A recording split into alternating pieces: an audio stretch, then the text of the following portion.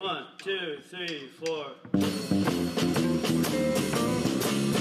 Next time you see me, things won't be the same. The music is flowing here at the Queen City Elks Lodge on Benjamin Street. People are gathering to honor a beloved community member on what would have been his 100th birthday.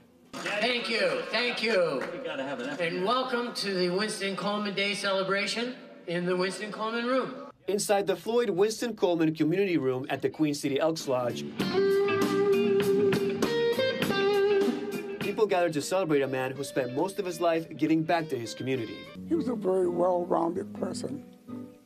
He was um, very extraordinary.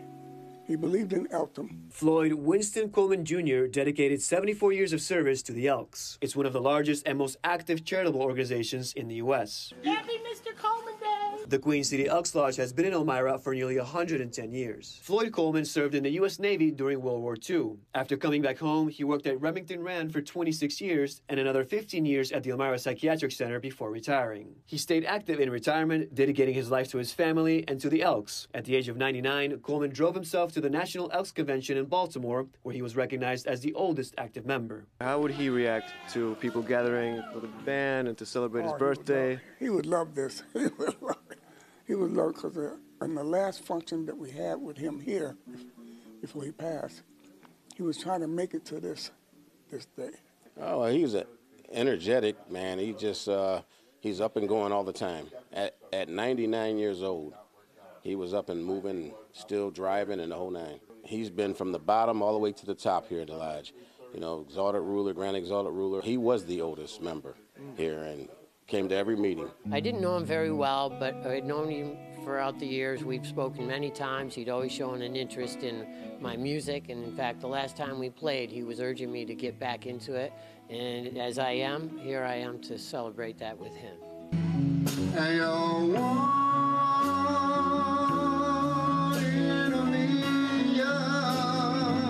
but I know his family, and they're beautiful people, and uh, uh, you know I can't say nothing bad about him. He was the ultimate diplomat. He would work through it rather than worry about it. He, he meant a lot to this lodge. He put a lot of work in here. People know him now, and for I hope everybody will remember him years to come. At the Queen City Elks Lodge in Elmira,